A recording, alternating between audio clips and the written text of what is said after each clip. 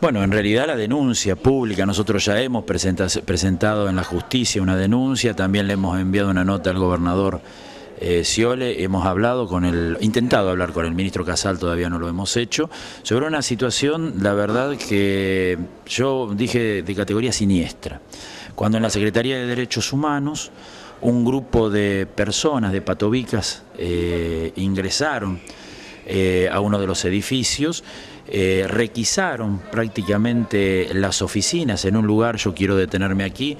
donde eh, no puede entrar cualquier persona y hay eh, denuncias de delitos de lesa humanidad, inclusive hasta las propias fuerzas de seguridad tienen limitado el ingreso. Bueno, estos señores, sin identificarse y prepeando a los trabajadores, ingresaron a hacer requisa en esos lugares, planteando que le faltaban unas llaves a quien está haciendo de personal de seguridad en la puerta del edificio de 47, 11 y 12, donde funciona uno de, los, de las áreas de la Secretaría de Derechos Humanos. Ante esto, los trabajadores y los delegados de nuestra organización se reunieron preocupados, dado que estas personas se negaron a identificar, eh, y bueno, resolvieron elevar una nota y también ir a ver a las autoridades. En el momento en el que se reunían eh, con el director de promoción, eh, ingresaron a la oficina del director de promoción más de seis personas no identificadas y agarraron a golpes de puños a los delegados y trabajadores que estaban reunidos con el director en una reunión cordial, donde si bien los trabajadores planteaban todos los reclamos, los cierto es que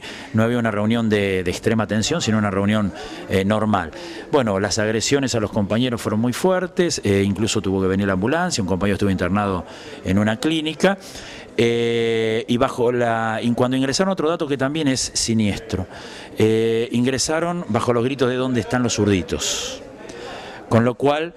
obviamente nosotros enseguida se inició todo un proceso de movilización hubo una asamblea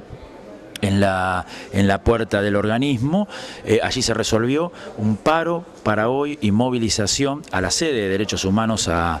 53 y, 8 para reclamar, eh, primero que se investigue y se castigue a los culpables de este episodio y en segundo lugar también para reclamar una serie de, reclamos que se venían desarrollando y que eran, no eran oídos por parte de las autoridades. Yo quiero destacar que si esto fue posible es porque había condiciones políticas para que se hiciera.